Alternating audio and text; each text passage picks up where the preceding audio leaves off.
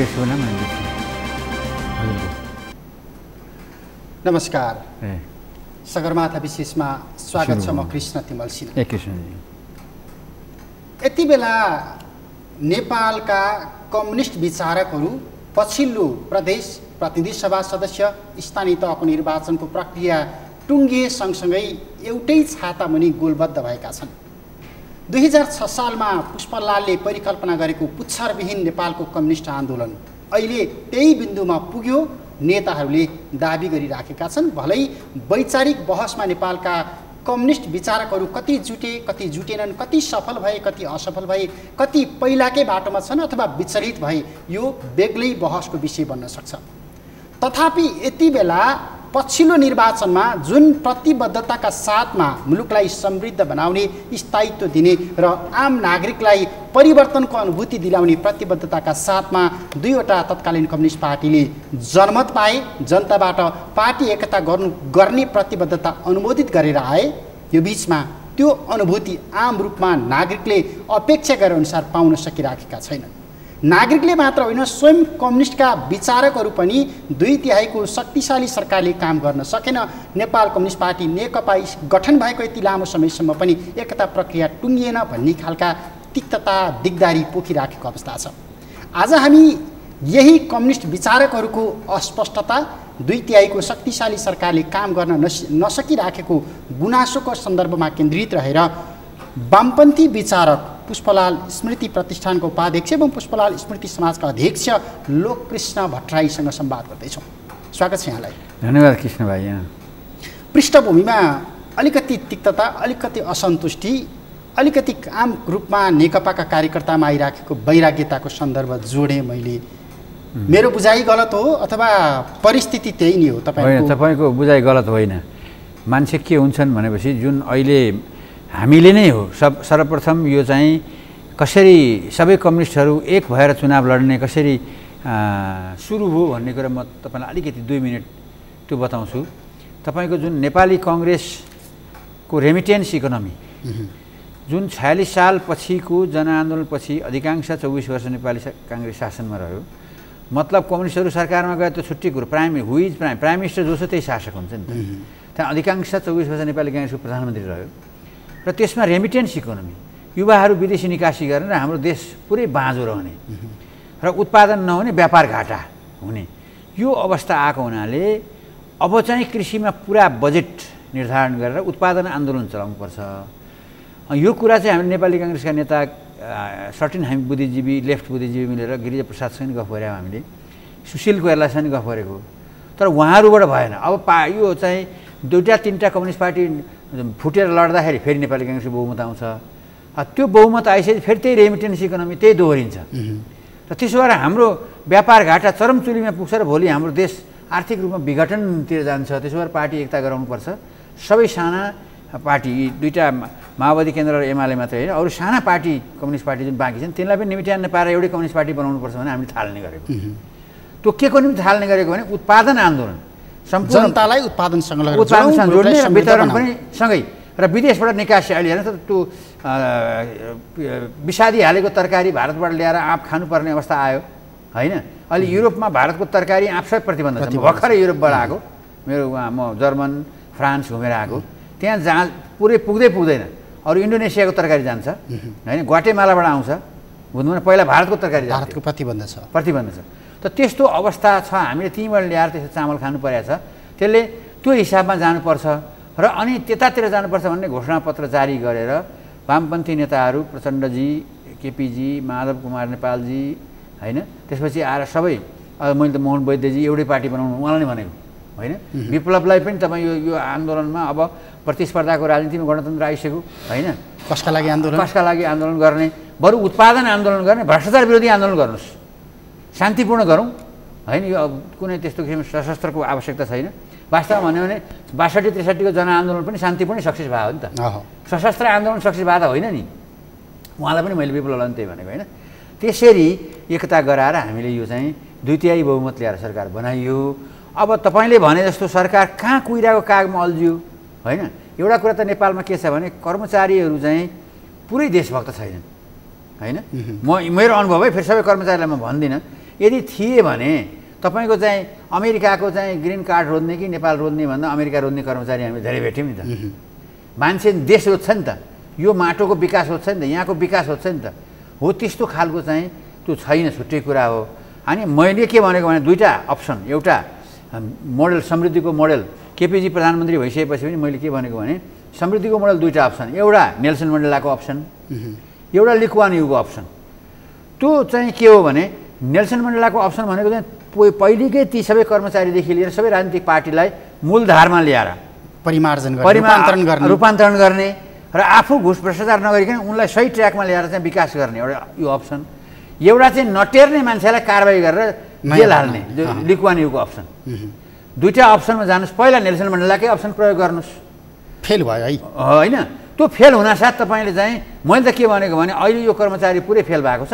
Second क्लासभन्दा माथिको सम्पूर्ण कर्मचारी खोजिदिनुहोस्। एकपटकलाई दुई तिहाई बहुमत छ। आन्दोलन गर्छन् भने रेसिस्ट गर्ने। तर आफूले घुस भ्रष्टाचार गर्नु भएन। पार्टी स्ट्रङ भएर जानु पऱ्यो भन्ने मेरो भनाइ तर मुहान हेर्नुहोस् त। त्यही त। होइन मुहान त बालुवाटारदेखि टुडी हिलसम्म हवाई जहाजदेखि पानी जहाजसम्मका अनियमितताका श्रृङ्खलाहरू हो त्यही त। त्यो त त्यसलाई त नियन्त्रण गर्ने भनेको। अब त्यो नैतिकता तपाईँले भने जस्तै दोस्रो दोस्रो अप्सन प्रयोग गर्ने नैतिकता त यो सरकारले गुमाइसक्यो नि त। अझै पनि केही बिग्रिया छैन। त्यसमा त अझै पनि केही बिग्रिया छैन। तपाईँ जुन अनियमितता छ ती अनियमिततालाई कन्ट्रोल गर्न तपाईँको चाहिँ उहाँ सक्षम हुनुहुन्छ सक्नुहुन्छ भने तुरुन्तै गर्नुहोस्। यो त हामीले तल्लो लेभलका सबै बुद्धिजीवी कार्यकर्ता तपाईँ भेटेर पनि हामीले भनेका छौँ। अब अहिले तपाईँको च्यानलमा मार्फत पनि यो कुरा उहाँसँग प्रधान सम्मान्य प्रधानमन्त्रीजीमा पुगोस्। अथवा अरू जुन पार्टीका शीर्ष नेताहरू छन् सचिवालय छ नौजनाले नेपाल शासन गरेका छन् ती सबै एकमत भएर चाहिँ करप्सनको विरुद्ध जेहाद छेडौँ। मेरो भनाइ यही हो। सचिवालय सदस्यहरू नै करप्सनमा मुसिएका छन् बाबा। अब कसरी हुन्छ जेहाद? कसरी छेड्ने जेहाद? सचिवालय सदस्यहरू डाइरेक्ट करप्सनमा मुसिएको भनेर त देखाएको छैन त्यस्तो केही देखाएको छैन। अहिलेसम्म आइराखेका श्रृङ्खला हेर्नुहोस् न। होइन। जस्तो टाढा नजाउँ ललिता निवासको जग्गामै। अलिकति नैतिकता अलिकति इमान्दारिता अलिकति तपाईँले भने जस्तै भ्रष्टाचारमा शून्य सहनशीलता अप्नाइएको हो अथवा त्यो प्रतिबद्धता साँच्चीकै हो भनेदेखि त त्यो नैतिकता देखाइसक्नुपर्ने समय पनि गुज्रियो अब त। होइन। यसमा भने कर्मचारी मरे भन्ने समाचार समेत आउन थाल्यो। होइन आत्महत्या गरे भन्ने मैले पनि पढेँ। तर के हो भन् भन्नुहुन्छ भने ललिता निवासमा एउटा चाहिँ एउटा समस्या के छ भने हाम्रो संविधानले पनि के बनाइदियो भने नि नीतिगत रूपमा निर्णय गर्ने त्यो अरू कार्यान्वयन गर्ने चाहिँ कर्मचारीलाई अधिकार दियो। र त्यसमा मुछिने नेता र कर्मचारी दुइटै देशभक्त भयो भने त्यो चाहिँ दुइटै त्यो कुनै भ्रष्टाचारको गन्ध आउँदैन मुछिँदो रहन्छ अब एउटा कुरा के छ भने त्यो कर्मचारी त्यहाँ त्यो जुन संदिग्ध कुरा छोडिदिएर कानुनले छोडिदिइसकेपछि जस्तो अहिले तपाईँले भन्नुभयो चाहिँ टु द फ्रेङ्क ओपनली कुरा गर्दाखेरि माधव कमरेडको पालामा जुन प्रधानमन्त्री क्वार्टर विस्तार गर्ने निर्णय भयो नि त। त्यो चाहिँ सचिवालयले अथवा प्रधानमन्त्री सचिवालयले प्रधानमन्त्री क्वार्टर विस्तार गर्ने निर्णय पो गर्यो त। त्यो निर्णयलाई आधार मानेर अरू कुनै त्यसपछिका सरकारहरूले चाहिँ दर्ता गरे। निर्णय त त्यसलाई आधार माने नि। हो। अब त्यसलाई आधार मान्दाखेरि पछिल्लो सरकारले चाहिँ त्यो भेग निर्णयलाई आधार मानेर दर्ता गर्न गर्नु हुँदैन थियो नि। गरे। हो त्यस्तो किसिमको चाहिँ कानुनको छिद्रता छ। त्यो छिद्रतालाई निमिट्यान्न पार्ने आधार भनेको चाहिँ के हो भने तपाईँमा चाहिँ पहिलो कुरो त संयमता दोस्रो चाहिँ इमान्दारिता। चाहियो इमान्दारिता। इमान्दारिता। त्यो एउटा व्यक्ति अहिले चाहिँ भनौँ न यो हुन त कृष्ण प्रसादलाई पनि आरोप लाग्यो यहाँ मरेको कृष्ण प्रसादलाई पनि। उहाँले चाहिँ सुवर्ण शमशेरको जग्गा फिर्ता गर्ने भन्नुभयो। सुवर्ण शमशेरको जग्गा फिर्ता गर्ने भन्न साथ सुवर्ण शमशेरको दुई सय उनान्सय रुपियाँ हो। दुई सय उनान्सयमा राजा महेन्द्रले चाहिँ दुई रुपियाँ चार रुपियाँ जति भए पनि दिएको रहेछ र उन्चास रुपियाँ जग्गा उनको चाहिँ बिना मुआवजा खोसिएको रहेछ। त्यो उन्चास रुपियाँ जग्गा चाहिँ फिर्ता गर्ने जुन त्यति बेर चाहिँ तपाईँको चाहिँ डेमोक्रेसी बहाली गए भएपछि त्यो पनि कुनै करप्सन होइन। त्यसलाई हामी त्यसरी लिनु भएन र माधव नेपालजीले निर्णय गर्दा पनि त्यो चाहिँ सरकारी जग्गा विस्तार गर्न चाहिँ पाइन्छ भन्ने कुरामा यसलाई करप्सनको रूपमा लिन भएन मेरो विचारमा है। तर अहिले जुन त्यो त्यो निर्णयका आधारमा पछि जुन दर्ता गरेका छन् त्यसलाई खारेज गरे भयो नि त। व्यक्ति विशेषले दर्ता गरे। व्यक्ति त्यो खारेज गरिदियो भयो नि त। अहिले त्यसलाई क्याबिनेटको बैठक बसेर त्यसलाई खारेज गरेर सरकारी जग्गा निर्धारण गरिदिए भइहाल्यो। होइन? कसले रोकेको छ यसलाई खारेज गर्नलाई? यो एउटा त्यो भयो होइन? अर्को जति पनि बाहिर करप्सन छन् जति पनि यो बाटो बिग्रिएको छ अथाह छ सारा तपाईँको यी सबै कामलाई चाहिँ जुन क्याबिनेट छ त्यो क्याबिनेटले चाहिँ कन्ट्रोल गर्न सक्छ नि। सचिवहरूलाई मुख्य सचिवहरूलाई राखेर चाहिँ तपाईँले काम गर्ने कि नगर्ने भनेर प्राइम मिनिस्टरले मन्त्रीले भन्न सक्नु पऱ्यो क्या? हिम्मत गर्नु पऱ्यो अब हिजो जसरी पञ्चायतकालको चाहिँ ब्युरोक्रेसी छ त्यसैलाई चाहिँ जसरी पञ्च मन्त्रीहरूले चलाए त्यसै गरी काङ्ग्रेसहरूले चाहिँ त्यही फलो गरे। तर पञ्चायतकालमा पनि योभन्दा राम्रोसँग चलेको थियो होला हो ब्युरोक्रेसी त। कतै न कतै डर थियो। तर एउटा कुरा सुन्नुहोस् कृष्ण भाइ पञ्चायतकालमा मैले म त अब चौसठी वर्ष भएँ। मैले देखेको आन्दोलन राजाको विरुद्ध आन्दोलनमा करिब करिब नौ वर्ष जेल पनि बसेँ। र नेपालका इने गिने सबै नेताहरू कौँ बिपीदेखि पुष्पलालसम्म सबै मसँग एकदम नजिकको सम्बन्ध रह्यो। र अहिलेका जति पनि नेता साथीहरू छन् उनीहरूसँग मेरो नजिकै सम्बन्ध रह्यो। तर मेरो कुरा के हुन्छ भने बरु वीरेन्द्र कालमा त्यस्तो छैन। वीरेन्द्र कालमा करप्सन भएकै हो। पञ्चायत कालमा राजा महेन्द्रले यद्यपि हामीलाई थुन्यो बिपीलाई थुन्यो पुष्पलाललाई लखेट्यो तर डेभलपमेन्टको हिसाबले उसले जुन गरेको रहेछ मार्गचित्र मार्गचित्र कोर्यो त्यसलाई चाहिँ मैले प्रशंसा गरेर लेखि पनि सकेँ। किनभने हो ठिक छ डेमोक्रेसीको सवालमा उहाँसँग हाम्रो मत भिन्नता छ अहिले पनि छ। तर निर्माणको डेभलपमेन्टको सवालमा उनको चाहिँ मार्गचित्रलाई हामीले अनुसरण गर्दा केही फरक पर्दैन। होइन? किनभने संसारमा लेनिनले पनि भन्नुभएको छ पिटर दि ग्रेटको प्रशंसा गरेका छ होइन माउ सेतुङले सम्राट पुगीको प्रशंसै गरेका छन्। र होइन यद्यपि त्यत्रो ठुलो त होइन महेन्द्र। होइन। तर विकास समृद्धि पूर्वाधारका हिसाबमा महेन्द्रले धेरै गरेका थिए। धेरै गर्यो भनेर मान्नुपर्छ। मान्नुपर्छ। किनभने यो पच्चिस वर्षको तुलनामा अहिले हामीले छयालिस पछिको तुलनामा। छयालिस पछिको तुलनामा जस्तो उनी उनी शासक भएको त सत्र सालपछि नै हो। बाह्रदेखि सत्र पाँच वर्ष उनी शासक होइनन्। होइन। किनभने राजा मात्रै प्रजातान्त्रिक होइन। प्रक्रियामै अभ्यास गरेका हुन्। होइन। सत्रपछि उनी शासक हुन्। प्रधानमन्त्री हुन् भनौँ न। प्राइम मिनिस्टर हुन्। सत्रपछि अट्ठाइसमा मरे। अब यो दस वर्षमा उनले राम्रो काम गरेर रहेछन् भन्ने कुरो अहिले हामीले गर्न नसकेको हामीले महसुस गर्नुपर्छ भन्ने कुरा मैले सबैलाई भनेको छु। बुझ्नु अहिले चाहिँ अब यो नेकपातिरै जाउँ न नेकपा अल्झिएको चाहिँ केमा हो? तपाईँले भन्नुभयो कर्मचारीले काम गरेनन् कि कर्मचारीले टेरेनन् कि? तर कर्मचारीले टेर पुछारै ल्याउन नपर्ने खालको हामीसँग संयन्त्र पनि छैन। अङ्कगणितको हिसाबमा शक्तिशाली सरकार छ तलदेखि माथिसम्म सिंहदरबारदेखि घर घरसम्म त्यो खालको संरचना बन्दा भन्दै त्यो खालको जनमत हुँदा हुँदै पनि नेकपा अल्झिएको चाहिँ केमा हो?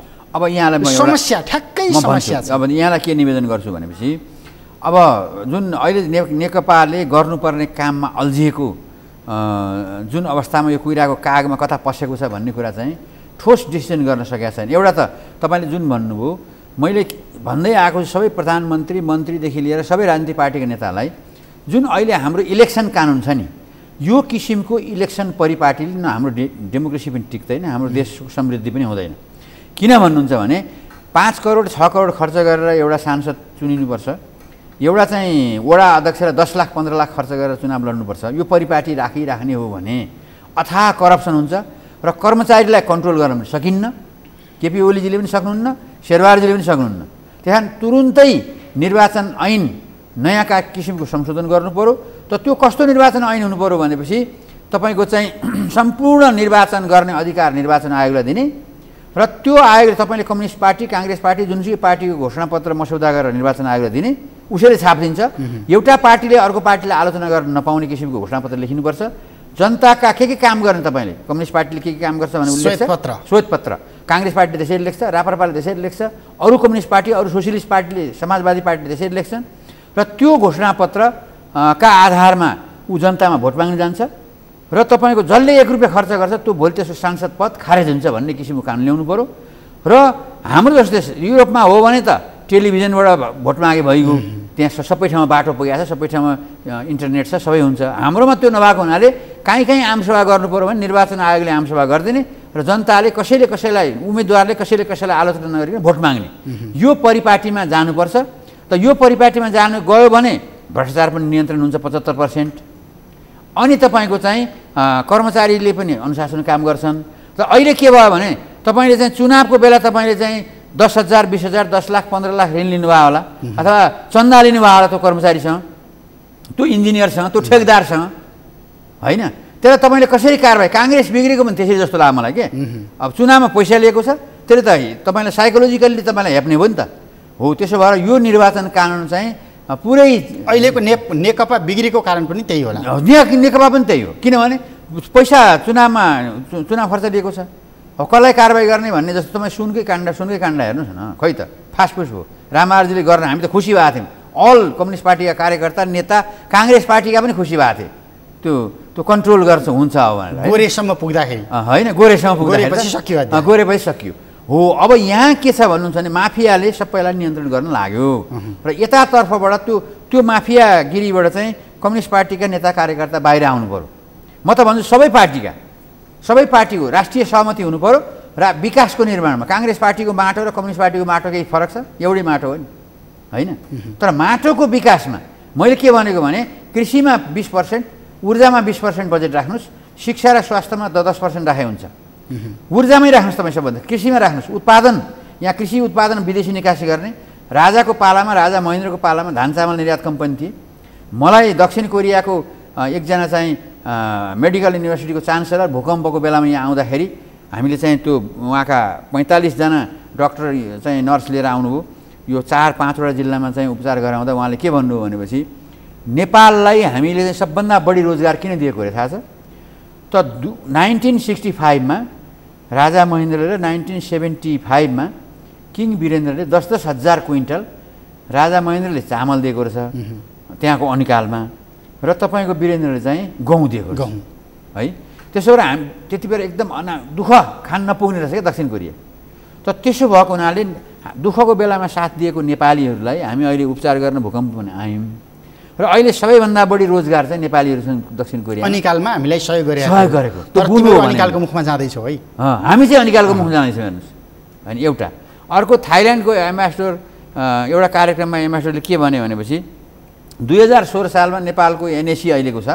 त्यो र थाई एयरवेज सँगै सँगसँगै। स्थापना भएर छ। भने थाई एयरवेजका अहिले चाहिँ संसारका सबै सिटीमा जान्छ र पचास सयवटा विमान छन्। अँ, पचासवटा भन्दा ठुला जेट तिन चार सयवटा भन्दा बढी विमान छन्। हाम्रोमा दुइटा बाइट बडी पनि छैन हाम्रो अर्को एयरपोर्ट पनि हामीले बनाएको ग्राउन्डेड। भएर बसिराखेको छ त्यो पनि ग्राउन्ड भएर बसिरहेको छ हो यो कुरालाई सबै देशभक्त नेपालीले सम्झाउनु पऱ्यो मैले त भनेको अहिले पोजिटिभ थिङ्क गरौँ। ओली प्रचण्डको शेरबहादुरको आलोचना भन्दा पनि हामी पोजिटिभ सबै ल। बाबा एक वर्षदेखि हामी पोजिटिभै हो नि त। के गर्यो सरकारले? के गर्यो राजनीतिक पार्टीले। अब समग्रतामा पोलिटिकल पार्टीका लिडरहरूमाथि प्रश्न उठाउने हो कि पोलिटिकल पार्टीहरूप्रति प्रश्न उठाउने हो कि अथवा समग्रमा व्यवस्थाप्रति प्रश्न उठाउने हो? होइन, व्यवस्था पन्ध्र सालमा पहिलो चुनाव सत्र सालमा राजा महेन्द्रले कु गरे भन्यौँ। सायद अहिले भनिन्छ त्यति बेला विश्वेश्वर प्रसाद कोइरालाले दुई तिहाईको संसदीय व्यवस्था अनुसार दुई तिहाईको सरकारै चलाउन सकेनन्। अलोकप्रिय भयो राजाले हस्तक्षेप गरे। छयालिस साल पछाडि अडचालिस सालमा गिरिजाप्रसाद कोइरालाले जनमत पाएकी हुन्। उनले चलाउन सकेनन्। नौ महिने सा शासनकाल मनमोहन अधिकारीले चलाएका हुन्। उनलाई चलाउन दिएन अथवा चलाउन सकेनन्। प्रचण्डलाई पनि जनताले अनुमोदन गरेर पठाएका हुन् चलाउन सकेनन्। र आजका दिनमा हामी आउँदा अरू थुप्रै पूर्व पञ्चले सरकार चलाए काङ्ग्रेसले चलायो र नेकपाको दुई तिहाई शक्तिशाली सरकार हामीले हेरिराखेका छौँ। र आजका दिनमा यो सरकारले गर्न सकेन भनेर तपाईँ आफै निराशा पोखिराख्नु भएको अवस्था छ। भन्दा अब प्रणालीमाथि प्रश्न गर्ने कि नेतृत्वमाथि प्रश्न गर्ने प्रणाली त पार्टीमाथि प्रणाली त? अब योभन्दा अर्को प्रणाली उपयुक्त चाहिँ निर्वाचन पद्धति सुधार्ने छुट्टै कुरा हो। योभन्दा अर्को प्रणाली भनेको अब तानासाही प्रणालीबाट झन् हुँदैन। किन? कि त्यस्तो बेनेभोलेन्ट डिक्टेटर आउनु पऱ्यो नि त। अहिले हामीले देखेको त्यस्तो बेनेभोलेन्ट डिक्टेटर कहाँबाट आउँछ भन्ने किसिम देखिँदैन क्या? जस्तो अब राजतन्त्रको लिगेसी पनि सिद्धियो नेपालमा होइन? पुष्पलालले त के भन्नुभएको छ भने सारा लाखौँ लाख झुपडीको एकता राष्ट्रिय एकता हो भनेको छ नि त होइन? बिपीले पनि त्यही भनेको छ। अथवा महेन्द्रले पनि राम्रै काम गरे त्यो मैले अहिले भनिसकेको छु। पृथ्वीनारायण शाहले तपाईँको चाहिँ उत्पादन उनले त अझ भन्ने हो भने कृषि उपज वृद्धि गर भनेको छ। होइन? त संसारको यो सबैको भनाइ के हो भने मान्छे मानवताको पहिलो खानुपर्छ। होइन? त्यो खाद्यान्न तपाईँले चाहिँ व्यवस्था गरिसकेपछि अनि विज्ञान र विकासको कुरा आउँछ। होइन? त्यसो भएर चाहिँ अर्को यो व्यवस्थाप्रति चाहिँ क्वेसन गर्ने कुरा चाहिँ मलाई त्यो हुँदैन। अर्को व्यवस्था चाहिँ आउँदा पनि आउँदैन। ल्याउन कसले ल्याउने? ल्याउन सक्ने अवस्था पनि छैन आउँदैन। वर्ल्डको पेरिफेरी पनि हेर्नु पऱ्यो अनि। यो स्कुलिङबाट हामीले राम्रो अपेक्षा के गर्ने त? होइन। तपाईँले। नेतृत्व परिवर्तन गरौँ भन्नुहोला होइन? प्रधानमन्त्री परिवर्तन गरौँ भन्नुहोला नेता अथवा नेतृत्व परिवर्तन गरौँ मन्त्री परिवर्तन गरौँ तर स्कुलिङ त यही हो नि। होइन। तपाईँले। बुझेको एउटा होइन भारतमा म यहीँ नजिकै छिमेकी भारतमा भन्छु म तपाईँलाई उन्नाइस सय छयालिस सालमा भारत स्वतन्त्र भएको होइन। उन्नाइस सय छयालिस पछि दुई हजार पाँचसम्म भारतको बिहारलाई सरो अफ इन्डिया भन्थे। सरो भनेको दिगदारीको इन्डिया के? भारतको दुःख। भारतको दुःख भनेको बिहार हो। त नीतिश कुमार आइसकेपछि नीतिश कुमारले पाँचदेखि लगातार शासन गरिरहेको छ। अहिले गोल्ड अफ इन्डिया बिहारलाई भन्छन्। अहिले भारतका अरू प्रान्तबाट चाहिँ भारत बिहारको इकोनोमिक डेभलपमेन्ट बढी भएको हुनाले लोन लिन आउँछन्। तपाईँको आन्ध्र प्रदेशले लोन लिएको छ तामिलनाडुले लोन लिएको छ बिहारसँग होइन? के भन्छ पन्जाबले लोन। लिएको छ है? त्यो केले गर्छ भने सिस्टममा मान्छे आउँछ क्या? त त्यसको विरोधमा आन्दोलन चाहिँ हुनुपर्छ। जस्तो विनोद भावेले भारतमा ठुलो आन्दोलन के गरे भने सत्ता प्राप्तिको निम्ति आन्दोलन होइन के? जस्तो केपी ओलीलाई सत्ताबाट बहिर्गमन लाने शेरबहादुरलाई लाने अथवा फलाना लाने होइन। यहाँको वृत्ति विकृति विसङ्गतिलाई परास्त गर्नु। अब हामीले नेपालका बुद्धिजीवी तपाईँ हामी सबै मिलेर मिडियाका मान्छेहरू जम्मै मिलेर यहाँको विक- विकृति विसङ्गति नेगेटिभनेसको विरुद्ध आन्दोलन गर्ने के त्यसको त्यो आन्दोलन- आन्दोलन अथवा त्यो खालको आलोचना त्यो खालको टिप्पणी सहन सक्ने क्षमता तपाईँको पार्टी नेतृत्वमा छ अहिलेको। सहन्छन्। प्रतिक्रिया तपाईँले सुन्नुभएको होइन? होइन, प्रतिक्रिया जस्तो- बुद्धिजीवीलाई ठेगान लगाउने सन्दर्भदेखि होइन त्यसरी जहाँ होइन एकछिन पखौँ न हामीले आन्दोलन गर्दा चाहिँ पोजिटिभ आन्दोलन उहाँलाई अथवा उहाँको प्रतीकात्मक रूपमा उहाँको विरुद्धको आन्दोलन होइन शेरबहादुर केपी ओली कसैको विरुद्धको आन्दोलन हामी भन्दैनौँ तर के हो भने पार्टी सुधार्न पनि त चाहियो नि। पार्टी सुध्रिन पार्टी जनपक्षीय हुनु पऱ्यो त्यहाँ चाहिँ पुष्पलालको लिगेसीमा पार्टी आउनु पऱ्यो र मदन भण्डारीको लिगेसीमा आउनु पऱ्यो नि त। मनमोहन अधिकारी जसले एक रुपियाँ खानु भएन। शेरबहादुरजीले उहाँ यु तपाईँलाई थाहा छ युएनमा जाँदाखेरि कर्मचारीले पच्चिस हजार रुपियाँ बढी दिएछन्। त्यो बुझ्नु भएको। र विपक्षी दलको नेताले चाहिँ पच्चिस हजार बढी लिनुभयो। किन भनेर पार्लियामेन्टमा क्वेसन उठाउनु भयो। शेरबहादुरजी हुनुहुन्छ सोध्नुहोस् उहाँलाई बोलाएर। मनमोहनजीले के गर्नु भने ए शेरबहादुरजी मैले जानेर लिएको होइन। म भोलि आउँछु। तपाईँले राजस्वमा राखिदिनुहोस् भने उहाँले पच्चिस हजार रुपियाँ ल्याएर शेरबहादुरजीको हातमा हालिदिनु। ल राजस्वमा राख्नुहोस् भने त त्यस्तो व्यक्तित्व पनि नेपालमा हाम्रो यही डेमोक्रेसीमा छ होइन? किसुनजी जस्तो व्यक्तित्व पनि डेमोक्रेसीमा हामीले पाएकै हो। गणेशमानजी जस्तो जसले चाहिँ रा- तपाईँको चाहिँ तर अहिले हामी करप्टेड एकदमै करप्टेड राजनीतिक पुस्ताबाट शासित भयौँ कि त्यही भएर ठिक छ। यिनको विरोधमा कार्यकर्ता लेभलबाट करप्सनभन्दा बाहिर निकाल्ने यिनलाई करप्सनबाट बाहिर निकाल्ने जुन यिनलाई चाहिँ सही ट्र्याकमा ल्याउने जुन आन्दोलन हो त्यो आन्दोलनको लिडरसिप हामी गर्छौँ क्या। मैले त अष्टज अभियान नेपाल उत्पादन आन्दोलनको अहिले अभियान जारी राखेको छु र हाम्रो पैँसठी जिल्लामा किसान सङ्गठन भएको छ। अब नेपालमा किसान आन्दोलन सुरु गर्छ। हामी किसान आन्दोलन उठाउँछौँ हेर्नुहोस्। त्यो के को कसैको विरुद्ध होइन। पार्टी नेता नेतृत्वको विरुद्धमा हो। होइन। किसान बजेटबाट विकृति र विकृति। विसङ्गति र उत्पादनबाट भ्रष्टाचार नियन्त्रण गर। उत्पादनबाट भ्रष्टा व्यापार घाटा कम गर। अब व्यापार घाटा केबाट कम हुन्छ त भने उत्पादन बढाउनु पऱ्यो बाख्रा पाल्नु पऱ्यो कुखुरा पाल्नु पऱ्यो होइन अहिले तपाईँलाई भनौँ म डेनमार्कबाट फिनल्यान्डबाट तपाईँको चाहिँ हल्यान्डबाट चिनमा सुँगुरको मासु जाँदो रहेछ। अब चिनियाहरू धनी भए पहिला आफैले पालेर खान्थे सुँगुर बढी खाने र अहिले तत्काल त्यहाँ जाँदो रहेछ। अब त्यहाँ एउटा चिनिया भेटेँ मैले एउटा चिनको चाहिँ मान्छेले रेस्टुरेन्ट चिनको सरकारले नै पैसा लगानी गरेर रेस्टुरेन्ट गर्न पठाउँदो रहेछ जस्तो लाग्यो मलाई क्या त्यहाँ। त्यो सरकारको सपोर्ट गरिरहेको छ त्यहाँ फिनल्यान्ड हेलसिन्कीमा। र उसले के भन्यो भनेपछि अब हामी यहाँ आएका छौँ तर नेपालको हावापानी जुन नेपालमा यदि बङ्गुर पाल्ने हो र नेपालको चाहिँ हावापानी अनुसारको बङ्गुर युरोपको बङ्गुरभन्दा हामी त्यहाँ छिमेकी देशको बङ्गुर खान्थ्यौँ होइन? तर त्यहाँ कुनै हैसियत छैन त्यहाँ गर्दैनन्। त भनेपछि उनीहरूले के भने भने जस्तो यहाँ चाहिँ हामीले बङ्गुर पाल्यौँ भने तपाईँको चाहिँ चिनमा चाहिँ एघार सय युवान चाहिँ प्रति किलो। प्रति किलो बङ्गुर रहेछ। एघार सय युवान भनेको झन्डै सोह्र रुपियाँ दरले दुनै बिस रुपियाँ त नभनौँ एघार दशाङ एक सौ सोह्र सय। एक सौको सोह्र सय एक सौको सोह्र सय भयो होइन? त्यस्तो महँगो बङ्गुरको मासु छ। यहाँ हामी उत्पादन गर्दैनौँ तर हामी-। प्रतिबद्धता धेरै देखाउँछौँ आश्वासन धेरै दिन्छौँ। रिजल्ट केही पनि त्यसैले- र समग्रतामा अब हाम्रो त अझ मैले त के भनेको भने समय छ। कर्णाली एउटाले। कर्णालीको जडीबुटीले नेपाल यो तिन करोड नेपाली पालिन्छन्। अहँ। त्यसलाई हामीले प्रोटेक्सन गऱ्यौँ भने त हामीले भने जस्तो बङ्गुर चाइना निकासी गर्ने होइन बङ्गुरको मासु अनि खसीको मासु। खसी इन्डियनहरूले खान्छन् हाम्रो पाखा पखेरा छन्। हामीले यो डोजर चलाएर बाटो बनाउनु भन्दा एउटा गाउँपालिकाको एउटा वार्डमा बाटो पुर्याउने त्यसपछि गाउँ गाउँ जुन डोजर चलाएको छ यो बन्द गर्नुपर्छ। इन्भाइरोमेन्टल खत्तम भइसक्यो पहिरो आउँछ भोलि हाम्रो देश खत्तम हुन्छ। त्यो अभियान पनि हाम्रो सञ्चालन अब गरिरहेको छ। यो त- यस्तो नि त तपाईँकै पार्टीको नेतृत्व सरकारमा छ सरकार चलाइराखेको छ। यसो गर्नुपर्छ उसो गर्नुपर्छ यो गऱ्यो भने राम्रो हुन्छ त्यो गऱ्यो भने राम्रो हुन्छ भन्ने हो कि सुरु गर्ने हो कि? होइन आन्दोलनै हामी सुरु गर्दैछौँ। उहाँलाई त हामी जान्छौँ। अब हामी पार्टीका नेताहरूलाई सरकारलाई मैले त के भनेको भने सरकार भनेको विपक्षी दल पनि सरकारै हो। समग्र पार्लियामेन्टलाई कृष्णबहादुर महराजीलाई हामी एजेन्डा दिन्छौँ अब। उहाँ पार्लियामेन्टको नेता हो नि त सरकार विपक्षी होइन। उहाँलाई दिन्छौँ कि अब यो उत्पादन आन्दोलनमा तपाईँ पनि आउनुहोस्। कृष्णबहादुरजी कम इन यसमा। र यसमा प्रचण्ड ओली शेरबहादुर सबै आउनुहोस् जुलुसमा आउनुहोस् रत्न पार्कमा आउनुहोस्। हाम्रो आह्वान हो यो। किनभने भ्रष्टाचार नियन्त्रण गरौँ उत्पादन बढाउँ हाम्रो अभियानमा आउनुहोस्। हामी पहिला दिन्छौँ। मान्नुहुन्न भने हामी त्यसको आन्दोलन हामी तर यथास्थितिमा सत्ता चल्दैन नेकपा चल्दैन। यथास्थितिमा चल्दैन। अब यसको यसलाई सुधार्नै पर्छ। सुधार्नै पर्छ नत्र सिद्धिन्छ। नत्र त अब त्यो हामी त नेगेटिभ किन भन्नु? भविष्य। छैन है। त्यो त छैन। हुन्छ। समय लागि धन्यवाद। Thank you Lokkrishna Bhattarai Nepal communist party नेकपाका नेता पुष्पलाल स्मृति प्रतिष्ठानका उपाध्यक्ष समग्रमा नेपालमा शक्तिशाली कम्युनिस्ट सरकार गठन भएको यति लामो समय भयो। पुष्पलालले स्थापना गरेको दुई हजार छ साल यता चलिराखेको नेपालको कम्युनिस्ट आन्दोलन अहिले अत्यन्तै बलियो अवस्थामा छ। दुई तिहाईको शक्तिशाली सरकार चलाइराखेको छ जनताले अनुमोदन गरेका छन्। प्रदेश प्रतिनिधि सभा स्थानीय तह तिनवटै तहमा शक्तिशाली सरकार भएर पनि नेकपाले जनताको मन जित्न सकिराखेको छैन। चाहे उत्पादनलाई जनतासँग लगेर जोड्ने सन्दर्भ होस् बेरोजगारी अन्त्य गर्ने सन्दर्भ होस् भ्रष्टाचार अन्त्य गर्ने सन्दर्भ होस् अथवा स्वयं पार्टीको वैचारिक विचरणका सन्दर्भमा उठिराखेको प्रश्न सम्बोधन गर्ने सन्दर्भमा नेकपा किन विचलित भइराखेको छ? किन सबैतिर गुनासो बढिराखेका छन्? यिनी सन्दर्भमा जोडिएर संवाद गऱ्यौँ। समय अनि संवादका लागि लोककृष्ण भट्टराईलाई फेरि पनि धन्यवाद दिन्छु। नेपालको पहिलो न्युज च्यानल सगरमाथा टेलिभिजन हेर्दै गर्नुहोला।